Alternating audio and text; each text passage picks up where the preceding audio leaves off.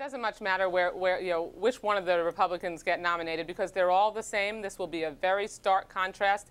They are all embracing and bear hugging the Tea Party, moving to the right. They can't move to the right far enough. It sounds like the new slogan is no longer hope and change. It's, hey, it could have been worse. Great bumper sticker, Debbie. I hope it works for you. But the reality is that Americans are hurting in this country, and the reason why you're losing right, races like in. New York 9 and New York 9 and all across the country. Oh, yeah, I think that incumbents have a real advantage. And uh, if I were the president, I'd go out there and I'd emphasize the things I have done. And I'd say some things haven't worked. And I'm sorry about that, but I keep trying. And, I'm, and I think the president is a very viable candidate. Uh, and you're going to have a real horse race here, no matter who the Republican nominee is. 70% of the Republicans, having seen with their own eyes Romney and Perry up on the stage Thursday night, and then speaking to the crowd on Friday, and mixing and mingling, having receptions for them. And these were pretty, these are serious people. I talked to an awful lot of them.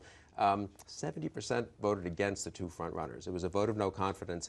I think it's got a very good chance. This has tax cuts for every small business and every worker rehiring teachers, modernizing our schools, helping rebuild our infrastructure, all things that can help the economy in the short term and are important for our long term economic future. And they traditionally have had bipartisan support.